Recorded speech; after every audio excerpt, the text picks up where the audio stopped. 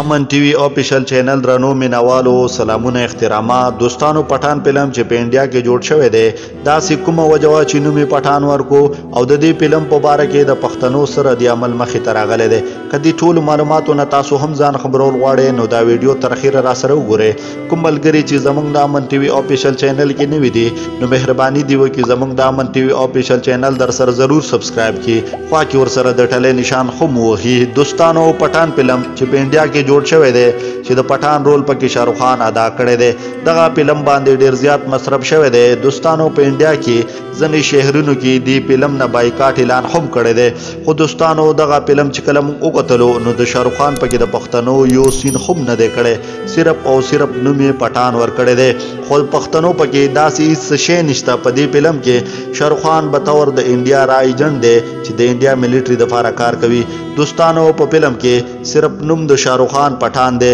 نور پکې پټان کردار بالکل نشته دوستانو د فلم سټوري داسې دی چې جان ابراهیم پکې درا ایجنټ وي خو څه ټایم بعد بغاوت وکړي او د پاکستان آیسای سره لاس ملاو کړي او د انډیا د تباه کولو پلانینګ شروع کړي بل اړخ ته شاروخ خان درا ایجنټ وي چې د انډیا د پاره کار کوي فلم کې دوستانو دغه فلم د پښتنو نوم بدنام کړی دی پښتنه چرته هم د انډیا را ایجنټ نشي کېدی که د افغانستان دی که د پاکستان دواړه په خپل ملکونو باندې خپل ځانونه ورکړي دي په دې وجه د پښتنو تاریخ پاتې دی پښتنو کله هم د چا ایجنټ نه شي کېدی دوستانو تاسو اول پهله دغه فلم وګورئ بیا یې مخې ته پروموټ کړئ